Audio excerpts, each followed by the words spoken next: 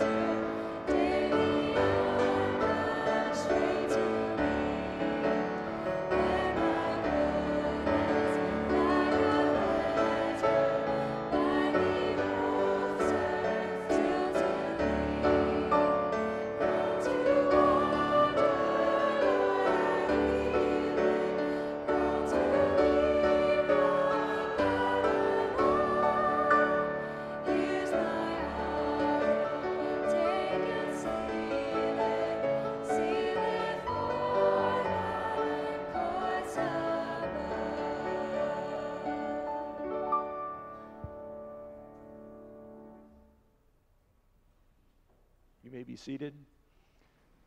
It's now time for prayer, and as our custom is, uh, perhaps you have a special burden that you want to place before the Lord. God hears prayer from every place and every at every time, correct? So why do we come forward? Perhaps there's uh, something that you just want to be very intentional about to bring before the Lord and sort of symbolically leave it here as you go back to your seat later. So if those would like to join me up front, we're going to pray together.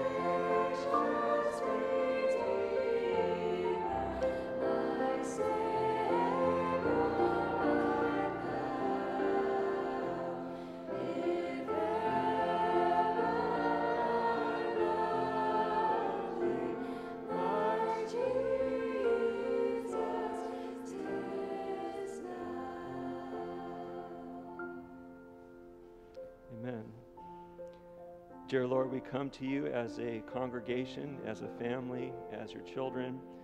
And Lord, we begin with praise because you are worthy of our praise. So we say, To him who sits on the throne and to the Lamb be praise and honor and glory and power forever and ever. Lord, we want to thank you specifically for answered prayer throughout this week, this past month, Lord, even our lives.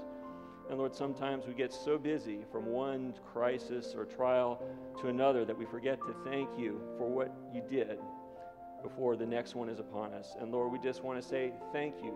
Thank you for the answered prayer. Thank you for keeping us safe. Thank you for blessing us, Lord. Thank you for our church family. Thank you mostly for Jesus who shed his blood, who interposed his precious blood that we could have new life and eternal life and we worship you this morning for that. we we worship you as our Creator. What an honor and privilege to exist. You thought enough of us to create us and give us life. And Lord, we do not want to take that for granted. So we praise you and thank you. And Lord, we have many needs, Lord. You see your children here. And Lord Jesus, you are the great healer.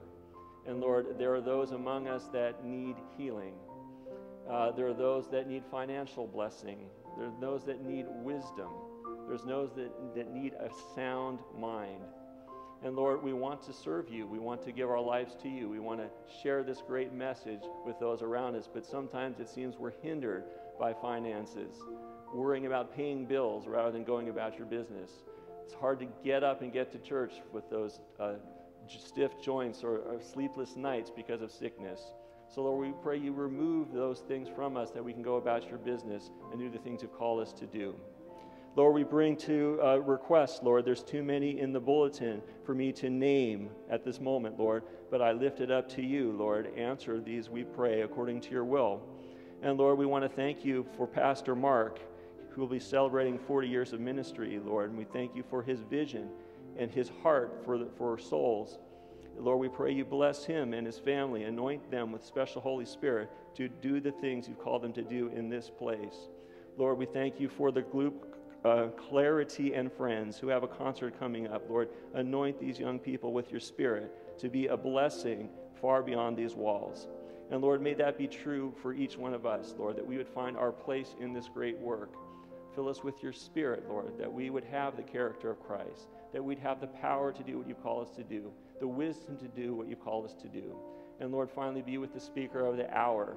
Put your word on her tongue that we would hear from you this morning. We pray all these things in Jesus' name. Amen.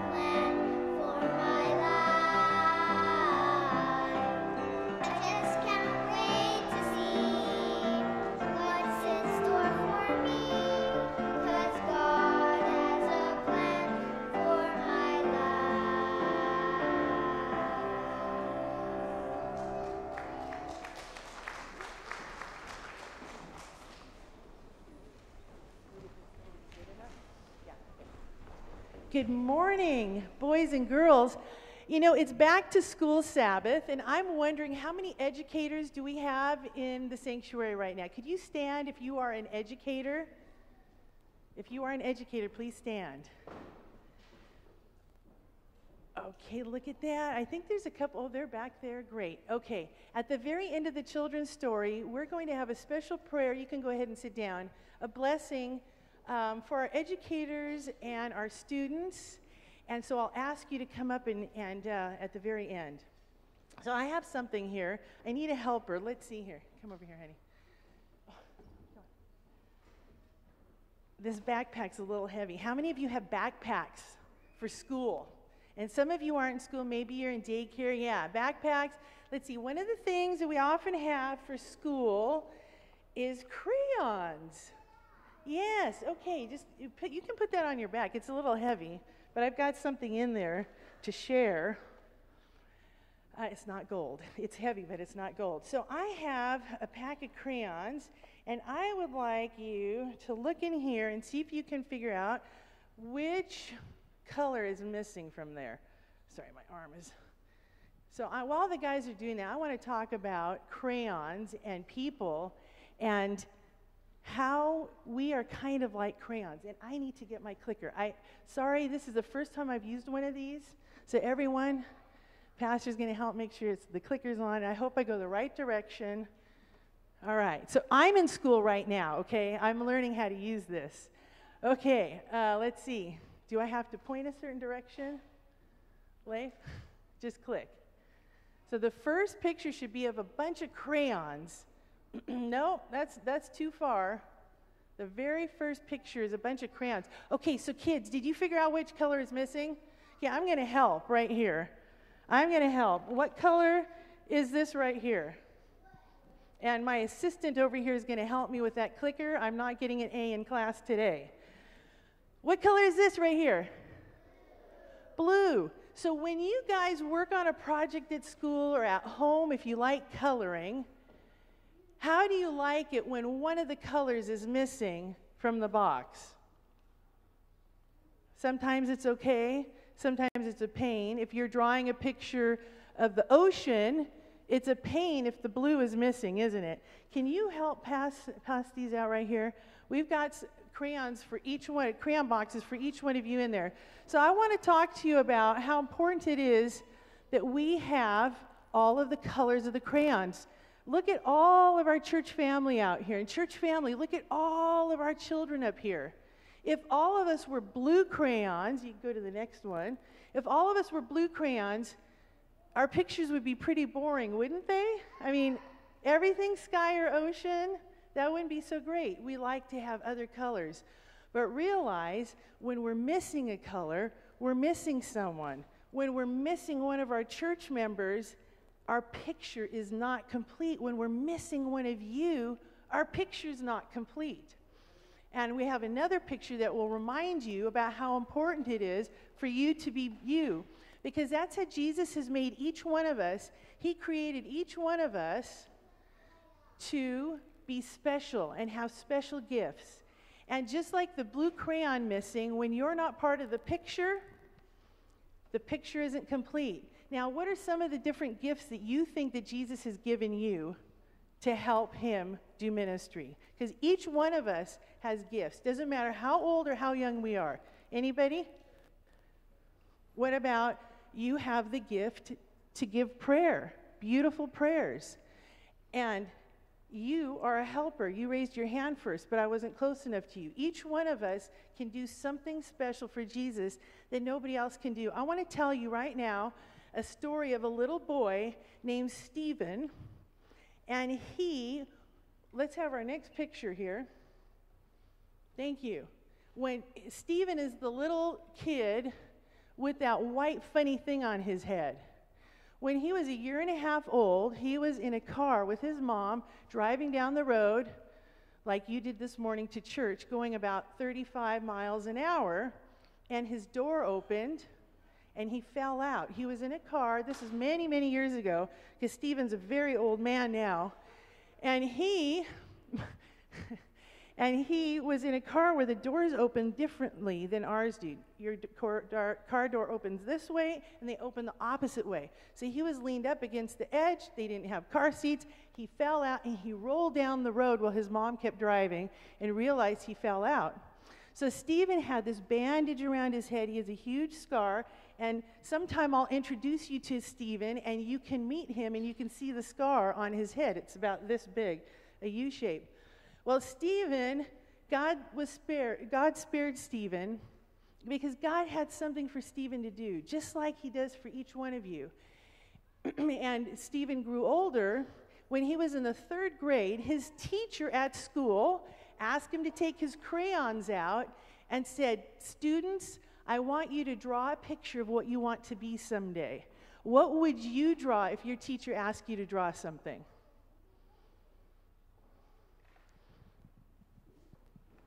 Uh, I would draw me helping someone. What? You would draw you helping someone. What do you want to be when you get older? Helping people is wonderful. That's what Christians do. I would draw a microphone. You would draw a microphone. Okay. Can you I would draw um, pastries. Pastries. You want to be a, a baker? Pastry chef. I'll draw myself as a scientist. Ooh, draw himself as a scientist. Anyone else? I'll draw myself as an art teacher. As an art teacher. Well, that's cool. Yes, one more. Um, I'll draw myself as a uh, a car fixer. Okay, an, uh, a car fixer, a mechanic. Well, little Stephen was in the third grade, and he drew a picture. It's right up here of somebody, can you tell what that is? Somebody on the beach. Now, this is not the actual picture he drew, but this looks just like the picture he drew. And it was of him standing on a beach looking over the ocean with a Bible in his hand. Stephen told his teacher he wanted to be a missionary when he grew up.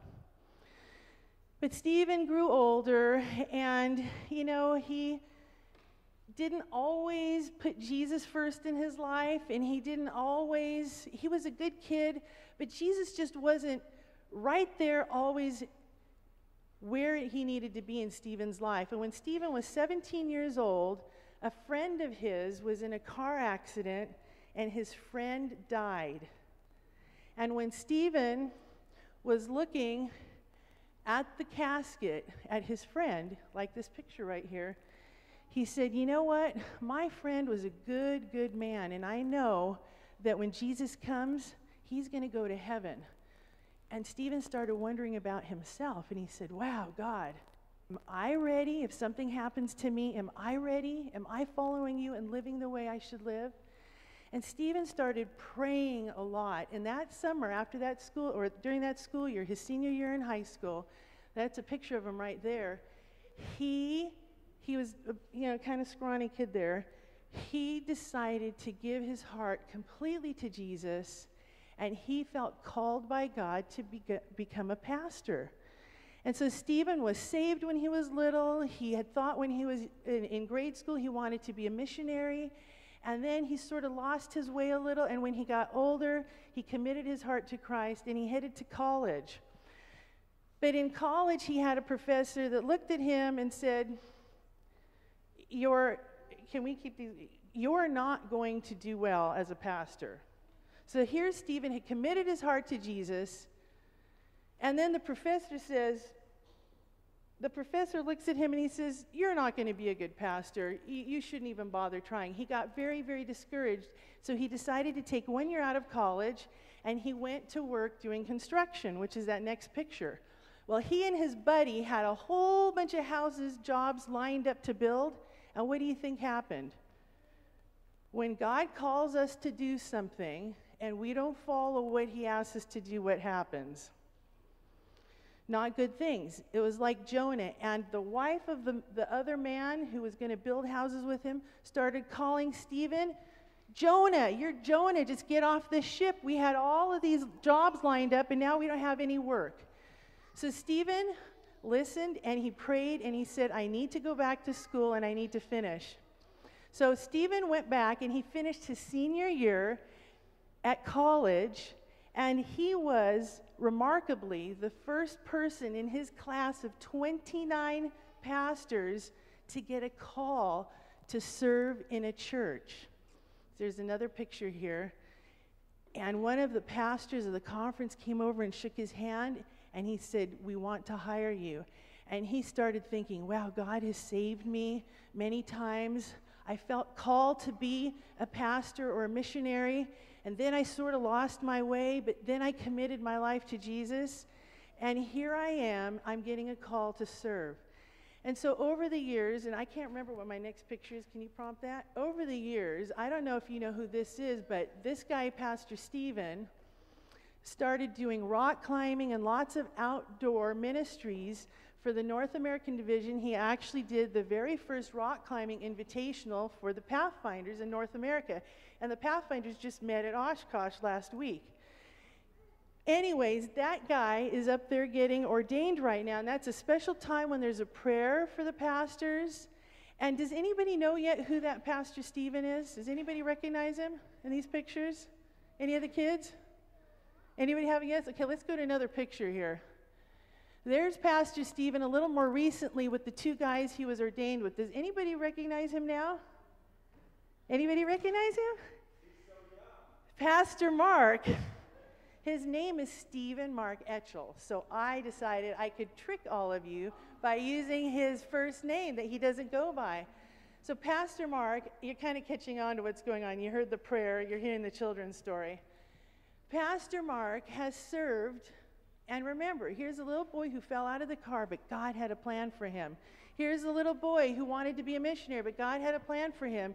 And then there was a young man, a teenager, who got discouraged and wasn't really following God, but God had a plan for him. And a college student who got discouraged, but God had a plan for him. And in Pastor Mark's 40 years, this, this month, August, this is his 40th year of pastoral ministry. Pastor Mark has pastored, I, I counted, honey, you have pastored over 4,000 church members in your 40 years of ministry. And numerous other people that he meets on the street.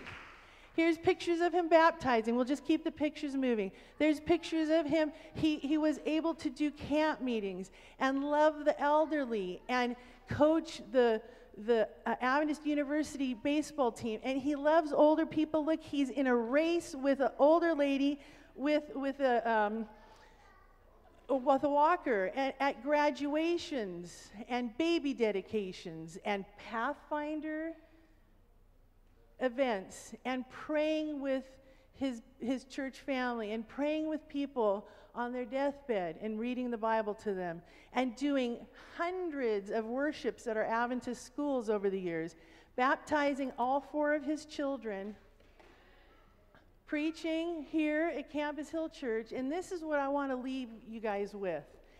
This is something that Pastor Mark posted this week, and that's actually a quote that's SME, Stephen Mark Etchell. Every person is a story. You are each a story. When a Christian interacts with people, Jesus becomes part of their story. So every time that you are on the playground with your friends and you do something with them, you're Jesus to them by being loving and kind, or you're not Jesus to them by being unloving and unkind. So we can always touch people's lives. And I think there's another picture. And here, Pastor Mark is showing by example, coloring a picture with young people on his lap. And the last one, I just want to remind you there is no other you. The picture of our church here is not complete if we're missing the blue crayon or the red crayon or the green crayon or any of the color of crayons. Each one of us is a vital part of ministry here. So, right now, um, I'm going to ask all of you young people to stay here on the platform, okay? And we're going to have just a little something different than we normally do. Elder Hope is going to lead here for just a minute.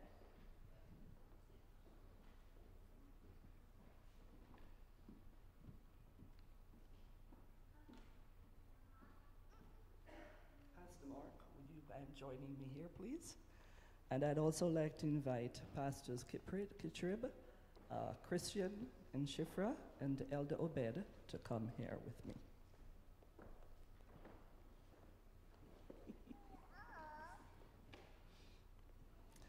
As you've heard, it's Pastor Mark's 40th year in ministry, which he just completed.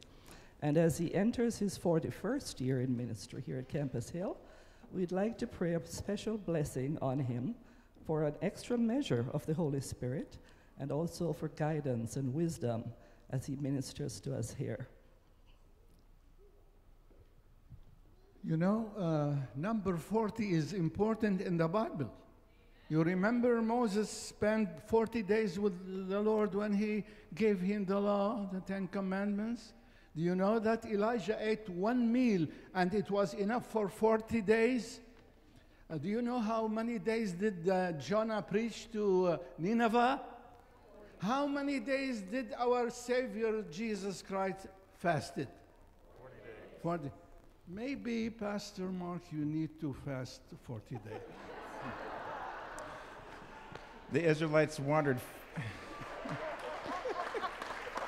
The Israelites wandered 40 years in the wilderness, and it took me 40 years to get here to Loma Linda. So I'm, I'm entering the promised land.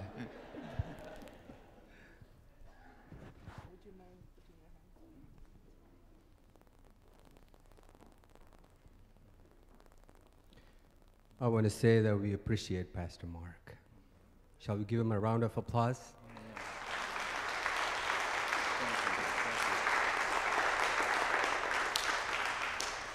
Let us pray. Our Heavenly Father, you are God of gods and Lord of lords. We humbly come to thy presence and bow down because we are filled with excitement and gratitude for Pastor Mark for his spirit of commitment, enduring dedication, tireless service in ministry throughout 40 years.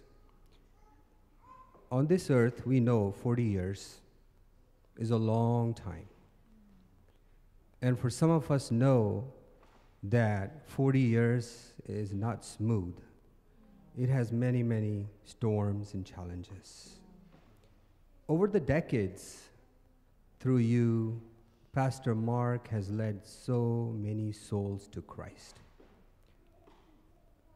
Father, we are encouraged by his steadfast and faithfulness in you.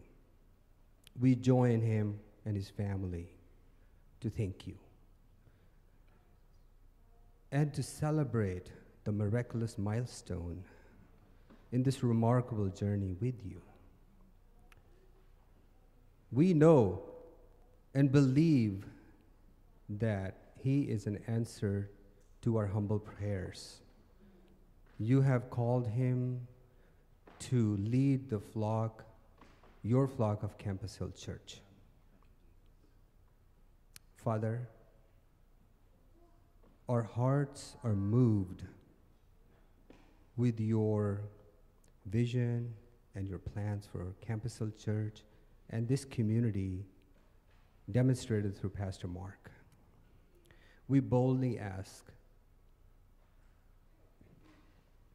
that your hand, the mighty hand, will lead and direct his path in righteousness. In this spiritual journey, Father, May your light be his companion, your love be his constant guide, and the rod and staff, they always comfort him. Overflow him with your prudence, shield him with your might, and empower him with your Holy Spirit. Father, we lift the entire Etchell family to thy throne.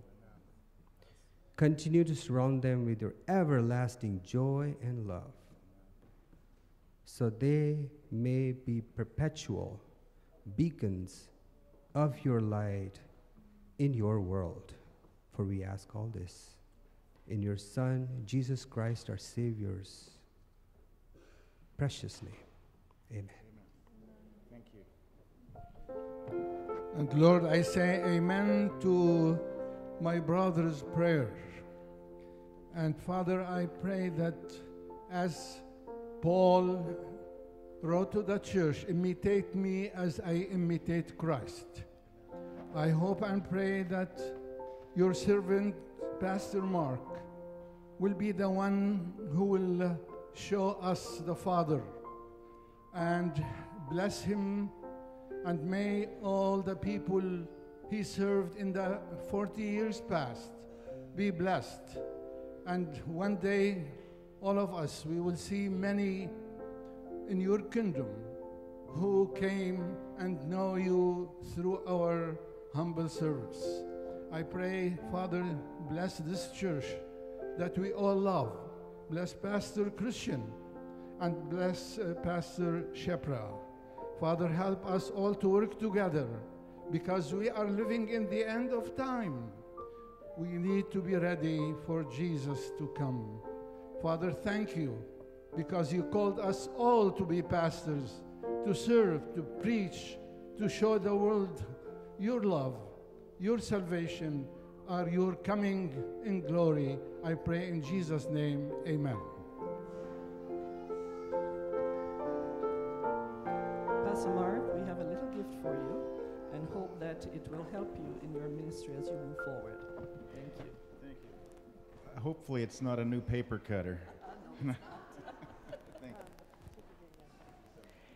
First of all, I want to say, I think whoever is the teachers of all of you young people are very lucky. Did our young children and young people do an amazing job through those prayers of dedications? I'm going to say amen. I think the teachers who get to teach you are lucky people.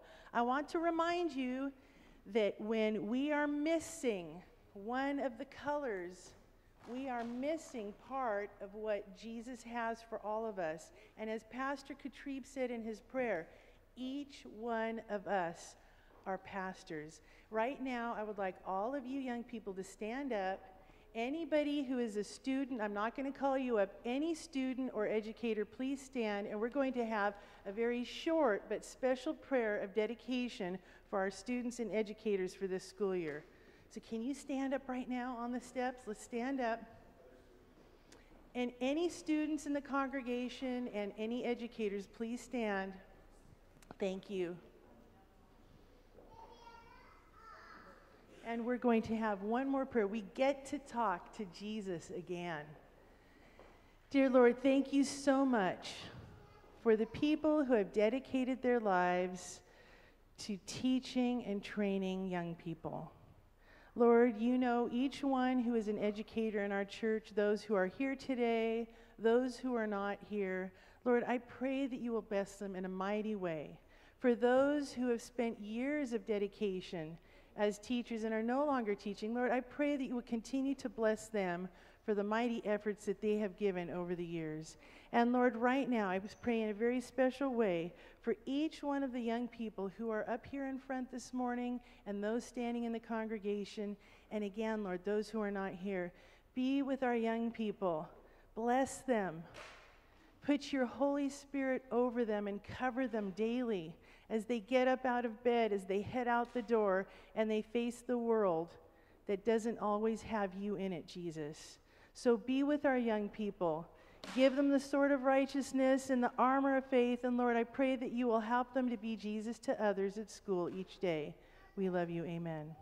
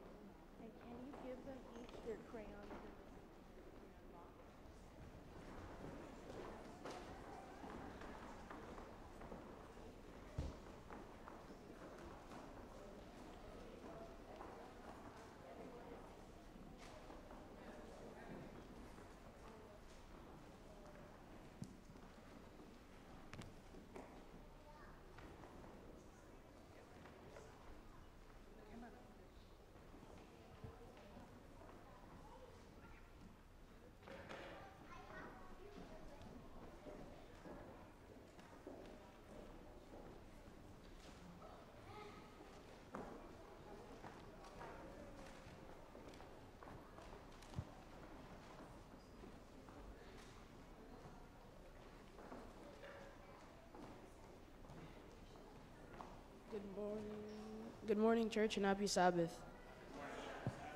Uh, when we give a gift to someone we love, the giver and the receiver experience joy. Sometimes we give a gift to a person as a way of sh- showing appreciation for something they did. Ellen White reminds us that the gifts are to be made in consideration of the great goodness of God to us. Today we are giving an offering for our local church. The offering will support the ministries and the programs of our congregation. Our church is a part of God's family, and we are truly giving to God. We give joyfully because we have experienced God's goodness to us. Let us return God's tithe and give an offering to our local church today. Uh, may the deacons rise.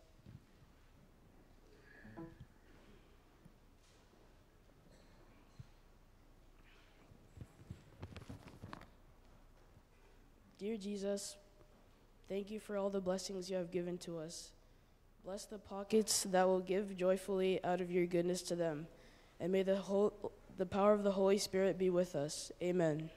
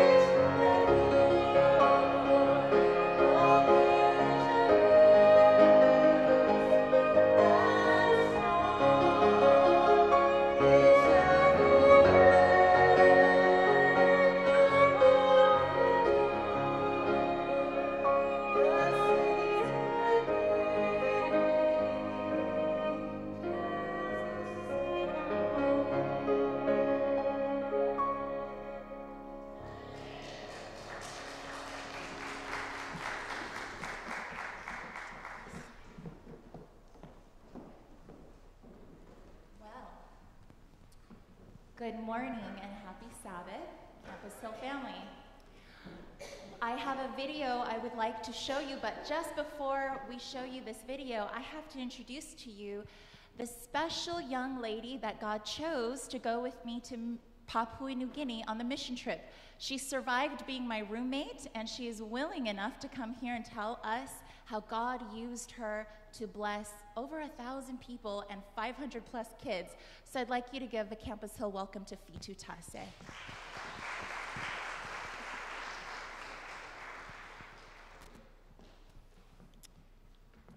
So um, the movie or the video, it's just a two-minute clip. Uh, we want to show you some of the faces of the people that we got to meet.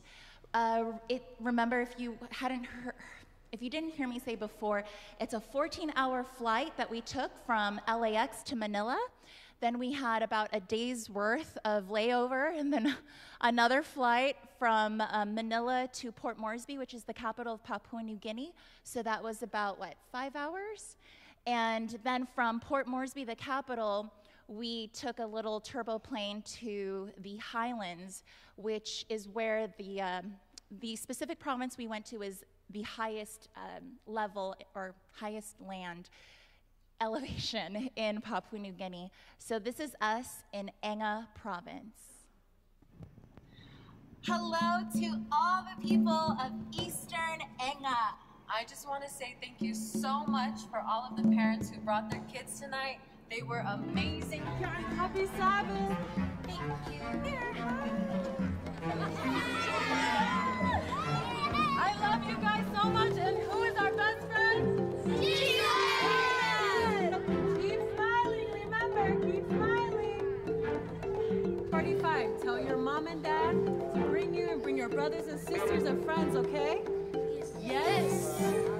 Let me hear it one more time. Who is our best friend? Jesus. Amen. And what does he want us to do?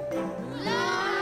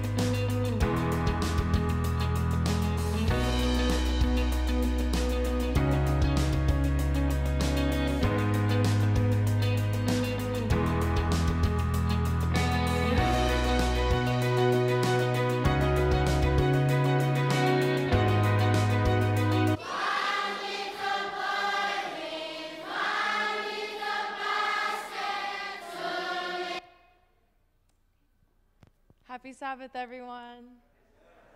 Uh, my name is Luck Chevenlin Marie Kalameli Tase, but you just can call me Fitu because that's way much easier.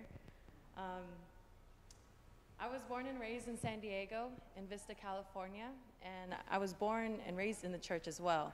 And that's how I remember and know Shiphrah, right? Um, my sister in Christ.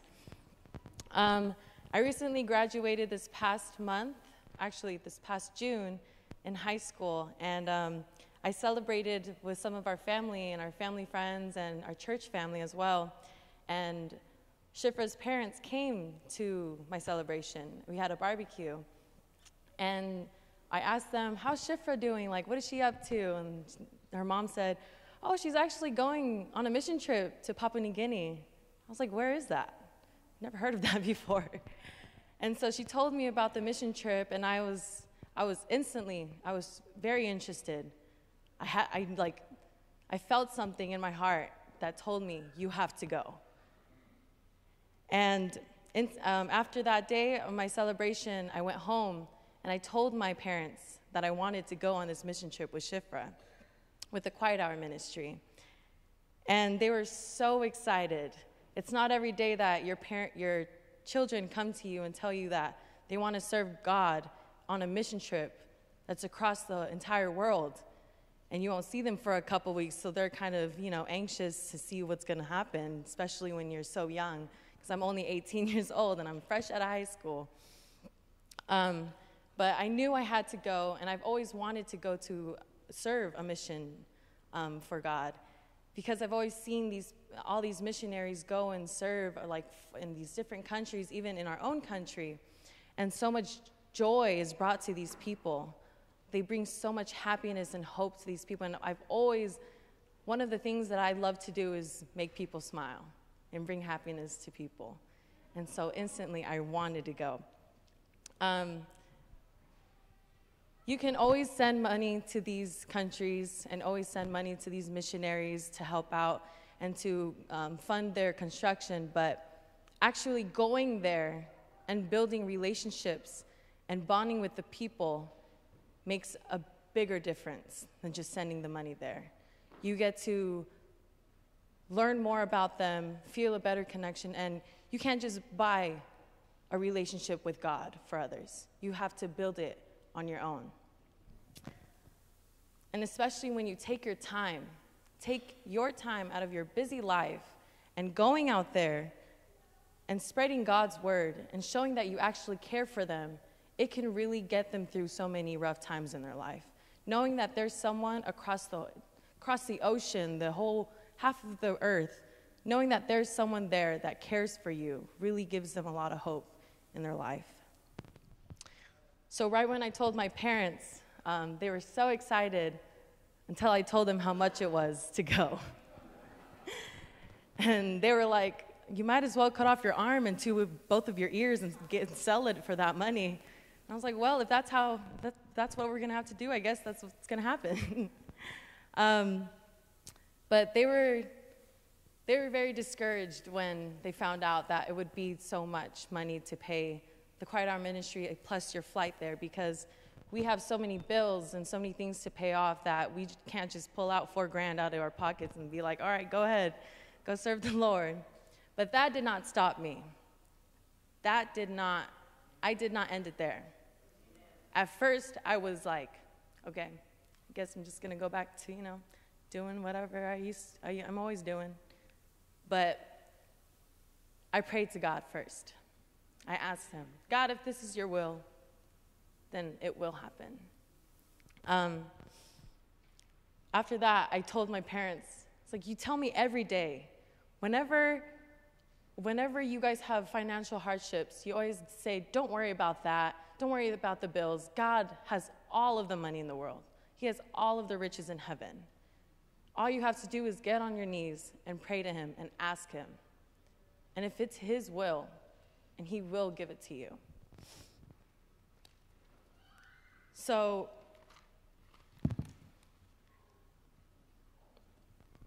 so every morning and every night I prayed.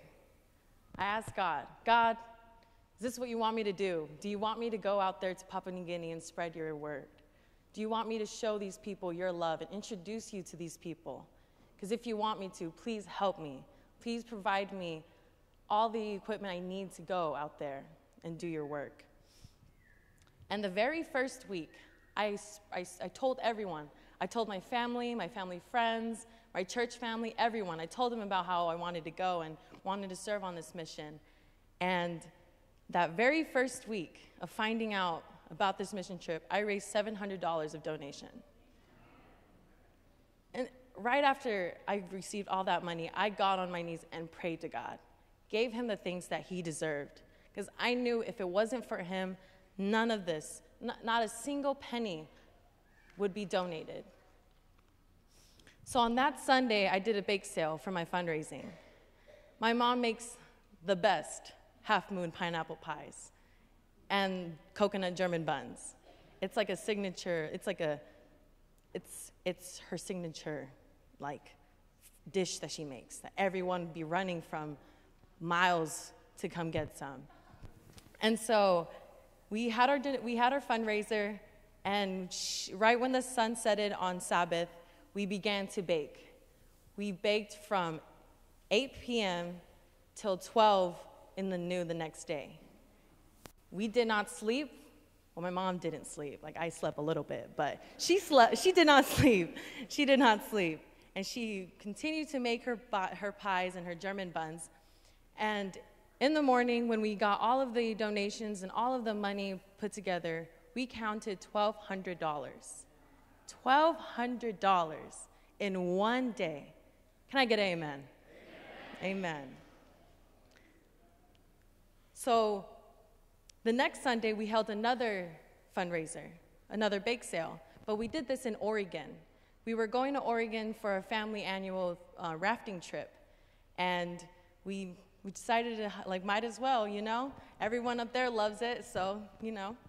So we did our fundraiser, and we raised $900 in that, on that one Sunday. Can I get another amen? And then when we came back the next week, we did our very final fundraiser. And we told everyone, this is your last chance to get your pineapple pies and your German buns. And everyone came racing with their wallets, coming, buying their, their, um, their goodies, and donating. And we raised $2,100 on that Sunday. That was only three weeks that we raised $4,200. My trip, my overall trip, with the, for the fees and the, my passport, I did not have, so I had to get, an, um, I had to get that really ex, um, expedited. And I needed my passport, I needed my fees for the Quiet Hour Ministry program ministry, um, and also for my flight. And I only needed four grand. But I got $4,000 and 200 that was not counting the donations that came throughout the week. That was just for my fundraising. God is so good. And as long as you believe and trust that He will come through, He will always come through for every single need financially, physically, mentally, all of it. So I called Quiet Hour Ministry and I was and right before I, I was going to call them to pay, because there's three different payments. You have to pay the $300 deposit, 750, and then the second 750. So I was going to call them for the 300 deposit, but Shiphrah called me, and she said, "Oh, don't worry about your deposit. One of the ladies um, canceled her trip, and she wanted to donate it to you." I got on my knees and I prayed. I don't know what other true God there is besides our only God. So I got on my knees and I prayed and I thanked him. At that moment, I knew that God wanted me to go. I knew that there was a purpose for me to go out there and to spread his word. So the next week, um, I paid the 750, and then Shiphrah calls me three days later, says, Don't worry about the second 750.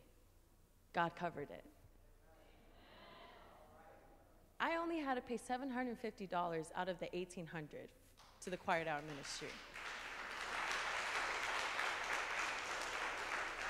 And not only that, our plane ticket was $1,900 to get there and back. He lowered the prices to 1700 As long as we know that our God is always there for us, as long as we share his love and have a good heart and always trust in Him. Never lose your faith no matter what you are going through financially, anything. Always trust that He has a plan for you. Thank you so much.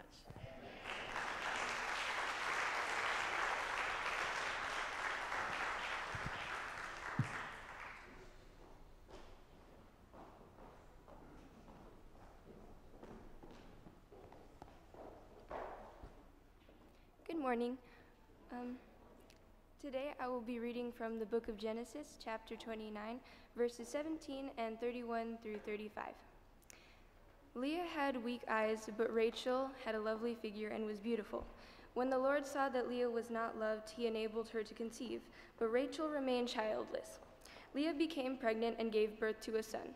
She named him Reuben, for she said, It is because the Lord has seen my misery. Surely now my husband will love me. She conceived again, and when she gave birth to a son, she said, Because the Lord heard that I am not loved, he gave me this one too. So she named him Simeon. Again she conceived, and when she gave birth to a son, she said, Now at last my husband will become attached to me because I have borne him three sons. So she named him Levi. She conceived again, and when she gave birth to a son, she said, This time I will praise the Lord. So she named him Judah. Then she stopped having children. Thank you.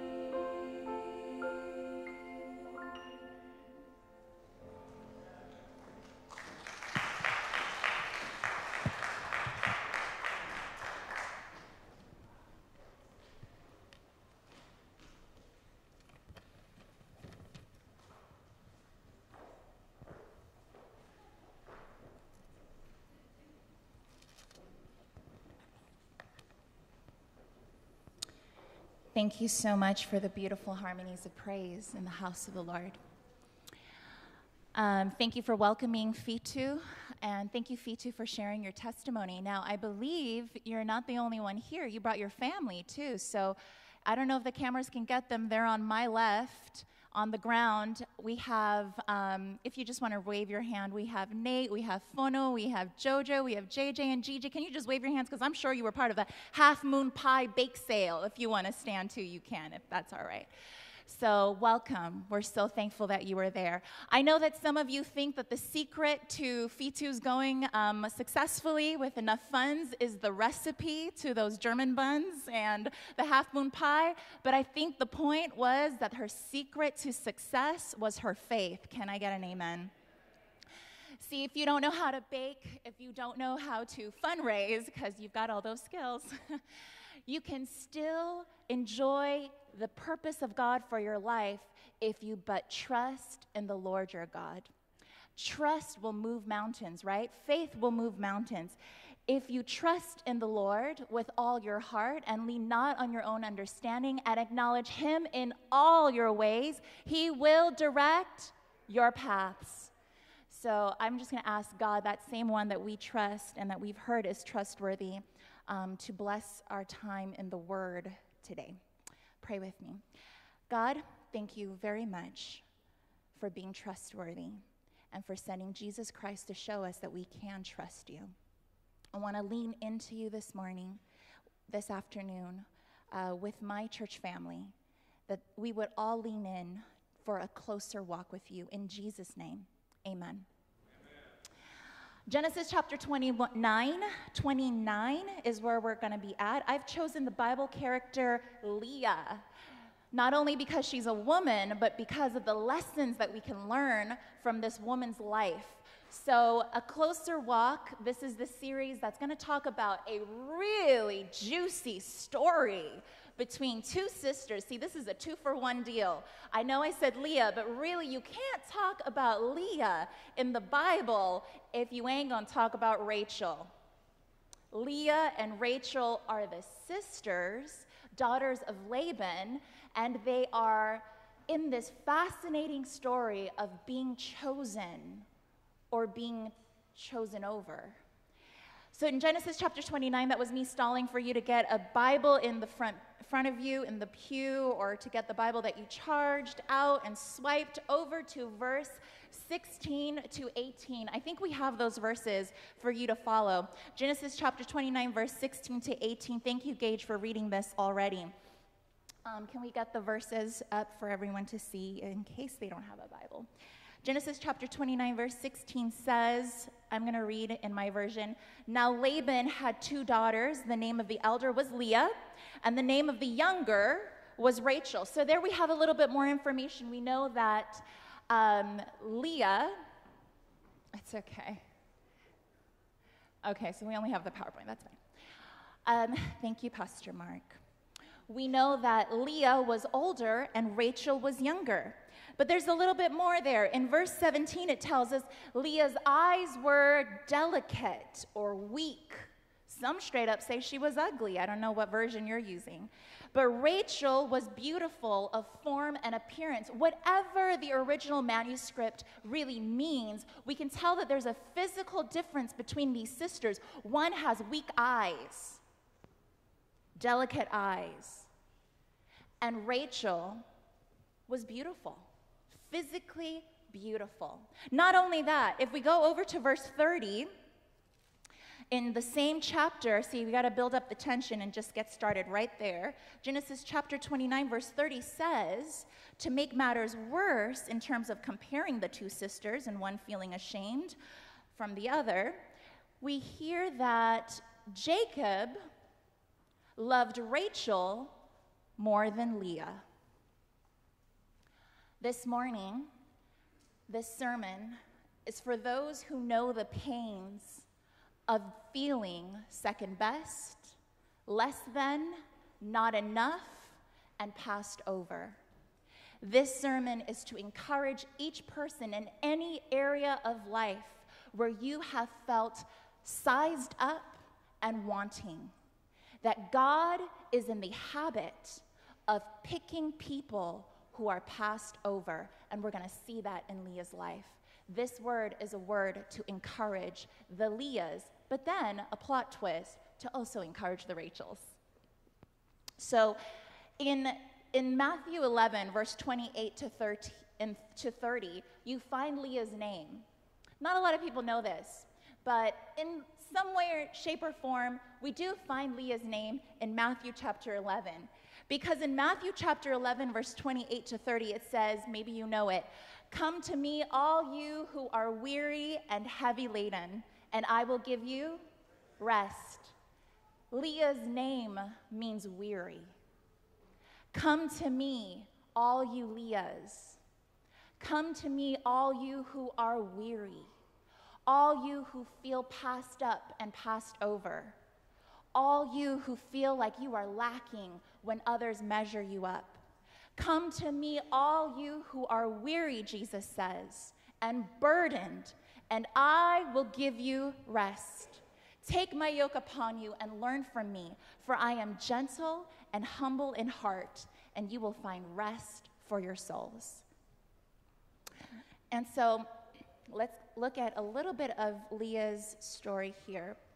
It says, Jacob loved Rachel in verse 18 and had to work seven extra years, even though he had Rachel, because he was deceived with Leah by, by their father, by Laban. He thought he was working for the one he loved, the one that was physically more beautiful. But when it came to the big celebration day, they must have, mu- there, it must have been a party, some kind of party where he really couldn't see her, or maybe other things as well, very clearly. Because when he wakes up, it's not Rachel, who he had thought he was working for, but instead it's Leah, who he didn't really want.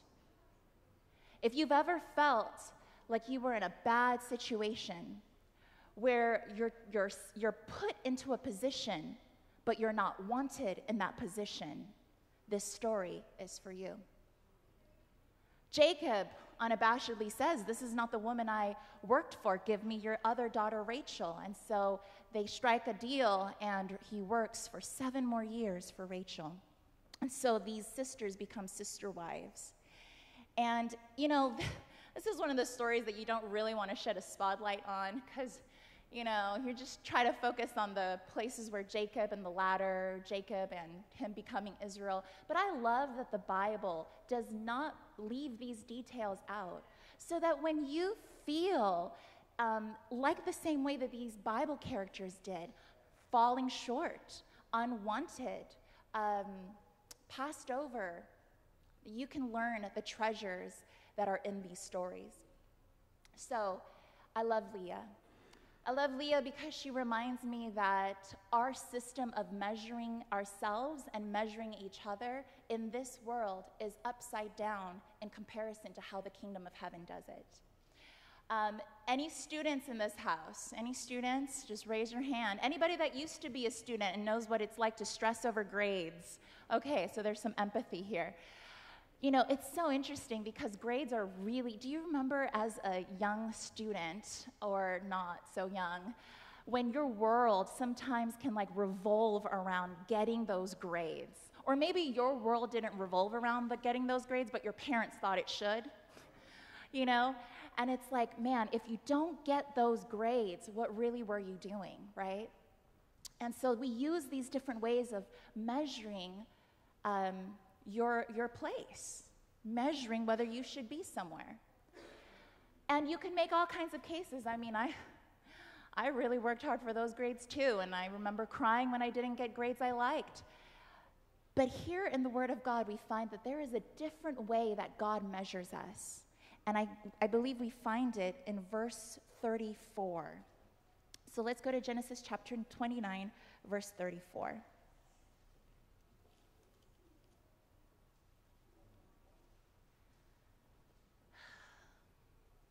Mm. No. Genesis chapter 29, verse 31. It says, When the Lord saw that Leah was unloved, he opened her womb. but Rachel was barren. What is so important about that verse is not so much the last part of it, where one becomes fertily fruitful, if that's a word, and the other not, but that the Lord saw. Verse 31 of chapter 29 says, When the Lord saw, and, and those who study the Bible and the patterns between both the Old Testament and New Testament know that when the author uses that phrase that the Lord saw, something about deliverance is about to happen. When the Lord saw Hagar in the wilderness, when the angel of the Lord came to her upon her distress, when the Lord sees you, it is the beginning of your deliverance. Here it says, when the Lord saw, and that's all you need to know. As a reader of the Word of God, as one who is walking with the Father holding his hand, you know that if God sees you, he will deliver you. That's the end of the story. When the Lord saw Leah, that she was unloved, he opened her womb because guess what? Even though God doesn't play our games, he can come in to take away your disgrace, even in the midst of those games. So in comes God to give her something to lift her up because I think it is in the Word of God where it says, Oh, you're last? Yeah, that means in my kingdom you're first. I'm sorry, sir, you're first. You can go back over there to the end of the line. The, the script is constantly flipped in Jesus Christ. He turns our way of thinking and makes it upside down. The least of these, those who are marginalized, have a place in the kingdom, and that place is highly exalted in the exaltation of Jesus Christ. When the Lord saw that Leah was unloved, God started to pour down his love on Leah in a very special way. Watch out when God starts loving on people that aren't loved. When the Lord saw that Leah was unloved, he opened her womb, but Rachel was barren. So Leah conceived and bore a son, and she called his name Reuben. For she said, and see, this is where it gets tricky, but listen to what Leah says The Lord has surely looked on my affliction. She knows that God saw her on her distress. The Lord has surely looked on my affliction. Now, therefore, and this is where I wish Leah would have just stopped with that first sentence. Now I know the Lord has seen me in my affliction, but she had to go on, and that's because she's real, and the Bible doesn't leave out these beautiful details to help us in our insecurities. Watch this. She says, Now therefore, my husband will love me. You know, peace and contentment only come through one thing acceptance. When you know that you're accepted, there's a sense of peace, a sense of contentment, a sense of confidence, even. Some of you may not know the, these two next words put together, but Queen Latifah, she is someone that when I was younger, I used to think, man, if I could just be confident like her, just thinking about her, I thought, you know, her shoulders are poised. She had just this aura about her. Not that she was egotistical or haughty, but she just carried herself, you know, with this serene sense of confidence. I have to say, when you walk around knowing that you're okay, there's a difference in your shoulders, there's a difference in your chin. When you know that you're accepted, by the ones who matter. There's a difference in your inside and your outside. It shows. Here we find sisters, not just Leah, but also Rachel, struggling in a human experience, which is to be accepted, but going about it in every, any other way except through Jesus.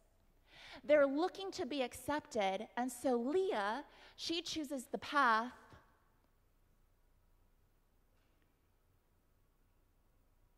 of approval. She wants to be accepted by someone else's approval. Would you just validate me? Rachel, let's go ahead to her. Rachel starts seeing that Leah is popping out those sons. First, she has Reuben, next, she has Simeon, then, she has Levi, and then she has Judah, and for a little bit, she stops bearing. And now in chapter 30, verse 1, it says, not that God saw, but that somebody else saw. In your Bible, chapter 30, verse 1, who's the one that's seeing now? Rachel. Now, when Rachel saw, see, there's a difference when God sees. When God sees, deliverance is coming. but if you start looking through the lens of either your own human eyes or the lens of someone else's human eyes, deliverance is being delayed.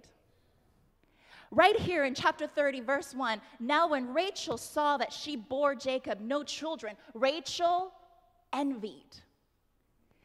Rachel envied her sister and said to Jacob, Give me children or else I die. Now, this is a sister who is looking for acceptance, not through the path of approval, but through the path of accomplishment. She wants to produce, just like Leah is producing. Leah wants to be loved, just like Rachel is loved. She wants to be wanted like Rachel is wanted, but if she's not going to get wanted, at least she can give something by producing something that the other can't. Either way that you go about it, if we're looking for acceptance in any other well but the living well, you're not going to be satisfied and your thirst ain't going to be quenched. If Jesus is not enough, nothing else will be enough for you and me. And when we find that Jesus is enough, then you find that you too are quite enough. Peace and confidence come from knowing that you are accepted. In the body of Christ, no matter who you are, no matter your past, your present, no matter the predictions of your future, in Jesus Christ, you are accepted and fully loved. You are wanted, and you will produce even more fruit. You want the acceptance? You want the through the path of accomplishment? Jesus can give that to you. But you got to get it in order. First, the relationship, first, the closer walk with Jesus, and then the production of an abundant supply of fruit. You want the wanting, you want to be desired, you want the acceptance of other people's approval and other people's approval. First, the closer walk with Jesus, and then you will find that not only do you have favor with God, but you also have favor with men and women. So, Leah, who is named weary, has to learn that those who are weary must come to Jesus because only there will you find rest. So, okay, Rachel gets envy, yes, of her sister, and I think some more drama happens here. Give me children or else I die. And Jacob's anger was aroused against Rachel and says, Am I in the place of God who has withheld you from the fruit of the womb? So she said, Here's my maid. She takes things into her hand. You see, deliverance just gets delayed. But even when you make mistakes, even when you sin, even when you fail because you've taken your, your life into your own hands, I have great news for us. According to the gospel in Jesus Christ, God's purposes and God's plans account for your mistakes. And so here we have the story where Rachel now gives her servant, and Leah sees that and that it's successful. Bilhah starts producing, and so Leah gives Jacob Zilpah, and Zilpah starts producing. And then finally, here we see that um, verse 22, very interesting because Leah started producing the same way. Rachel thought she could get her servant to kind of redeem her, but Leah was able to do the same. And so in verse 22, it says, Then God remembered Rachel, and God listened to her. God remembered Rachel, and God listened to her and opened her womb. And she conceived and bore a son and said, God has taken away my disgrace. Very quickly, because our time has come and gone, and I still have a quick testimony to close us with. Leah's story is not the only story in the Bible. And if we were really honest with ourselves, we would also find places where we can resonate and relate. David, David was passed over. Do you remember? The prophet of the Lord comes to the house of Jesse and says, Where are your sons? And the sons line up. And one by one, he's going through the line, and the prophet says, You know, God hasn't given the prophet an okay for any of the sons in the lineup. And so he says, Is there one more? I mean, Jesse didn't even include his son David in the lineup when the prophet came to make a house visit. David was utterly passed over. But God is in the habit of picking people who are passed over. So when David, who is passed over, walks over to the house because God hasn't given his stamp of approval only until David is coming and David is the chosen one, then God speaks to the prophet and says, This is the king, anoint him. And uh, also, I think of Jesus. Jesus is another story of someone being passed over, an ultimate story of someone being passed over. If you think of um, Matthew chapter 27, the story of Barabbas, Barabbas and Jesus, here we have two, as if they're on the same footing. Which would you like to an angry crowd? Jesus Barabbas or Jesus, the one who says he's the Messiah? And the crowd angrily yells, Give us Barabbas. Release him. We choose him. You can crucify Jesus. Jesus is passed over. But like we've been learning this morning and afternoon, is that God is in the habit of picking people who have been passed over. And so, the last thing here I was going to uh, bring up is can we jump to the, the last slide? I'll just skip the second slide. Time has gone. Yep, that's a good one. There we go. So there's a story I want to share with you um, about that I also shared in Papua New Guinea about two babies, twins in a mother's womb. Um, this story of Leah is around the womb of a woman, or two women, really. And it reminded me that all life is from God. It, it also reminded me that when, you know, sins get in the way, whether your sins or other people's sins, God's plans account for those sins. Before the foundations of the earth were laid, the plan of salvation had already been made. God's purposes account for human sin and human failure. God is great. And so I was reminded of that. And I was also reminded that all life comes from God, that there are no accidental children that come out of the production of someone's pain and insecurities and shame. There's there's children, there's parents that feel that way, but children are the product or the blessing and the gift of a God who gives life. John 14, verse 6 says, I am the way, the truth, and the life. And the story that I told in Papua New Guinea was of two kids, it's just an imaginary story, of two little babies, if you imagine, one boy, one girl, they're twins, talking to each other in their mother's womb. And one brother is very, this brother is very skeptical, very cynical brother already in his formation. And the sister is very hopeful and kind of an optimistic outlook, and she has something special she senses. So she tells her brother, You know, I believe that this is not all there is. I believe that there's more to life than just this dark place. And the brother said, What would ever give you an idea that there's more to life than this dark place? And why would we ever want to go anywhere else? Here we get fed, here it's nice and cozy. You have me, I have you. And she said, No, I, I really sense that there's a new place and we're getting ready to go to that new place. There's a life beyond this life. And you know what? Even more, I believe, I believe that there's something called a mother. And the brother said, Oh, you've lost your mind now. There's no such thing. Have you even seen the, this thing called mother? You've never seen a mother. I've never seen a mother. How can there be a mother? And the sister said, Oh, just you wait. I believe that there is something called a mother, and I believe that there is another life than just this one in this dark place because haven't you felt those pains, those squeezes? And the brother said, Yeah, I felt those squeezes and pains. I don't like them. And she said, Well, I believe that those pains and those squeezes are just getting us ready to be delivered into the life we're actually designed to live. You see, all life comes from God.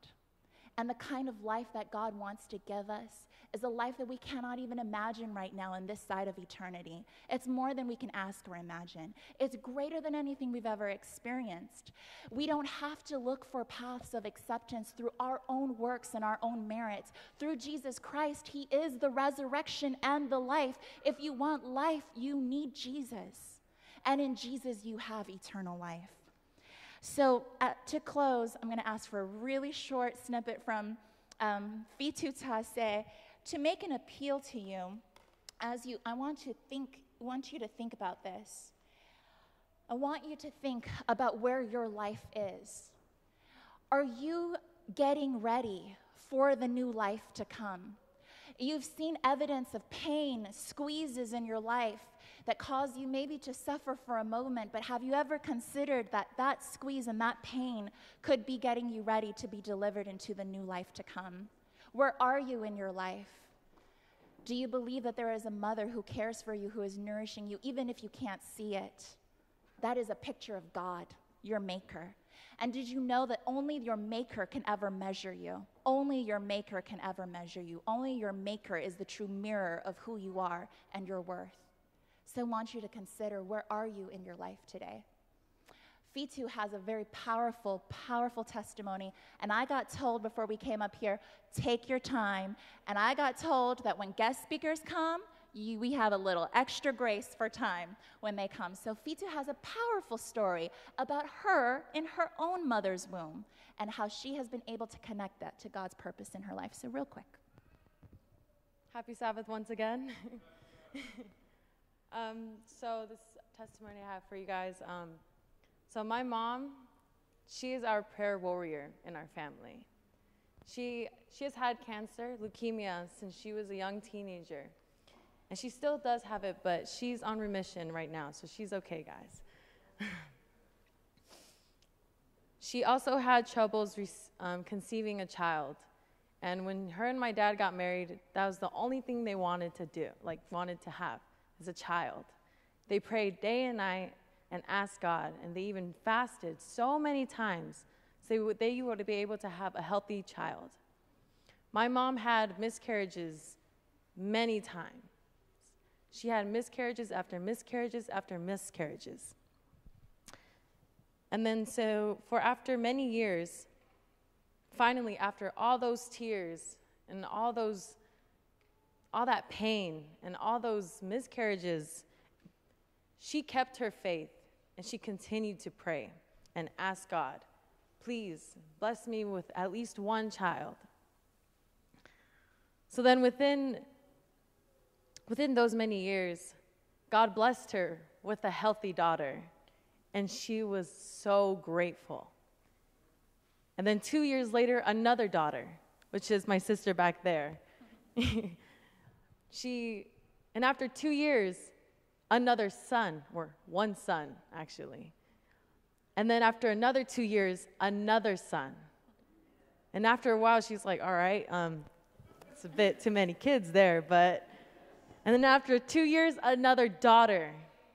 Another two years, another daughter. And she was like, All right, that's enough. I need to chill out. You know, this is too many kids. The house is getting full. So after that, after having six kids, being blessed with God, she tied her tubes. Yep, she tied them tubes. She was like, Oh no, that's enough kids for me. I'm okay. Thank you, God, but I'm okay. Um, so in the late 90s, my family migrated from Samoa to America, in California, Southern California. And in late 2000, December, in the late December, my mom started leaking blood.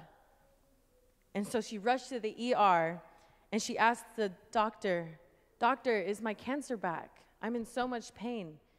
Is it back? And he said, No. Um, actually, You're pregnant. She's like, What? What do you mean I'm pregnant? I tied my tubes like a while ago. It's impossible. But the doctor said, No. Yep, you see this? Yeah, that's a baby. It's a girl. it was me.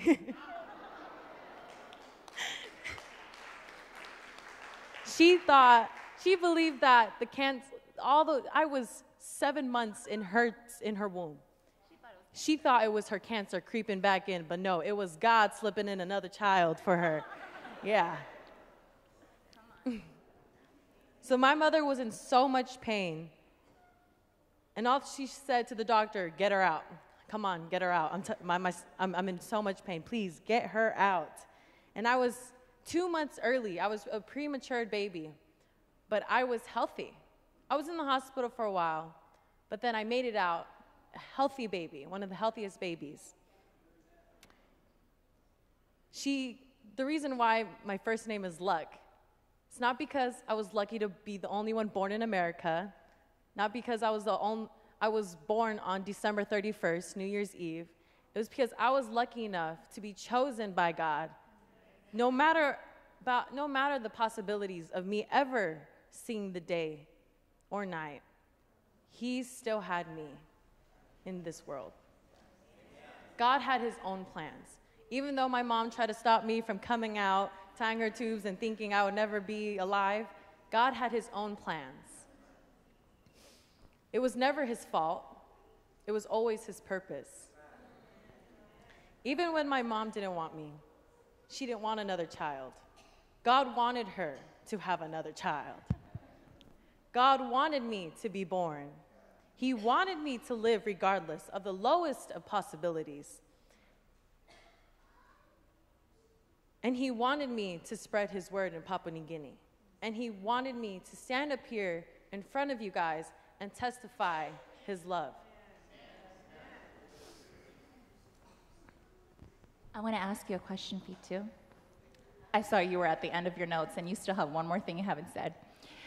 Um, when you went to Papua New Guinea, the rest of the team went somewhere, and you and I visited a campus, and now that campus is part of your story. Do you want to? I know you want to share. So, when I graduated high school, my plan was to go to a community college and to major in political science because I love bringing joy to people. It's one of my like it's one of the things that makes me me, you know?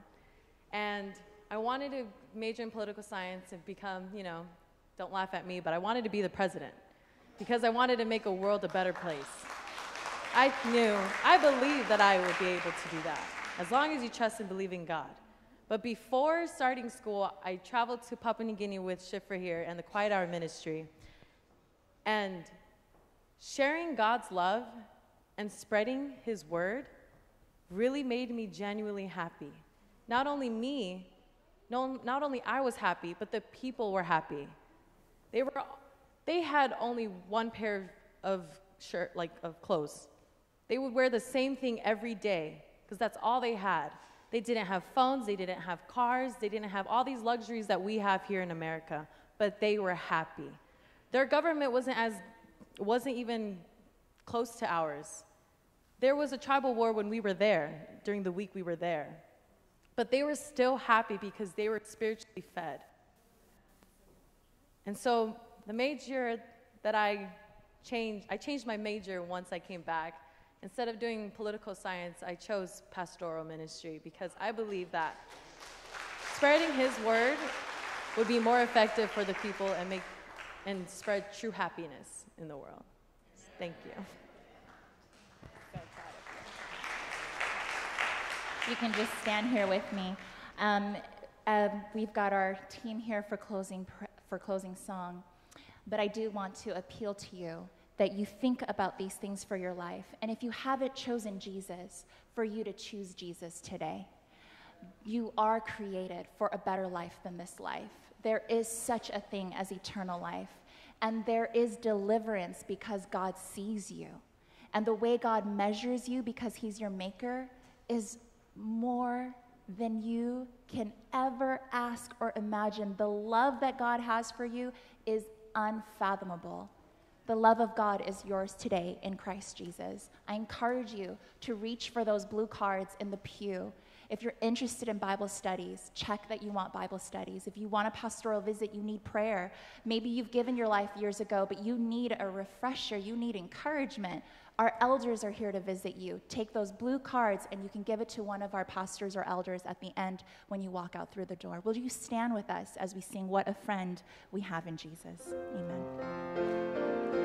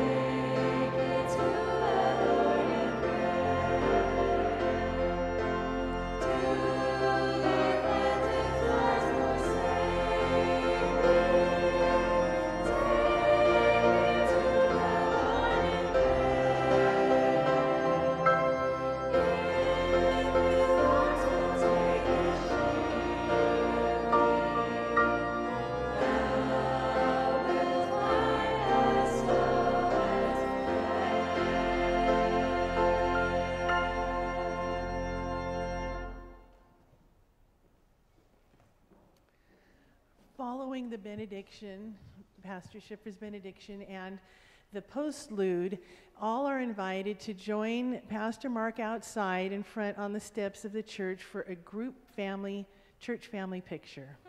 so after the postlude is over, please come out quickly and join us for a picture. Amen. You think that seven kids are big, the church family is big. So, I'm looking forward to that church uh, family picture. Now, Leah gave birth to Judah. Judah is where Jesus comes from. The line of the woman who was unwanted was the line that God wanted for Jesus to come through. When you feel a certain way, know that God is working in your life for Jesus to come through your life. So I pray a benediction over this church family that in the areas where we have felt ashamed that we will feel an abundance and experience and receive an abundance of God's grace that can only come in Jesus Christ. Lord, where we have felt passed over that we will know that you have picked us up. Lord, where we have felt unwanted that we will know you have taken that which others may have meant for harm to make for good so that Jesus can come through our lives. I thank you for lifting us up this morning. Go with us now, and especially anyone who has made the decision to follow you. Here with me is Fitu Tase. Anoint her in the name of Jesus as she has chosen you for your calling and purpose in her life, which is greater than we can even imagine. And I thank you for all of these things and more. In Jesus' name, amen. Join us for the family picture.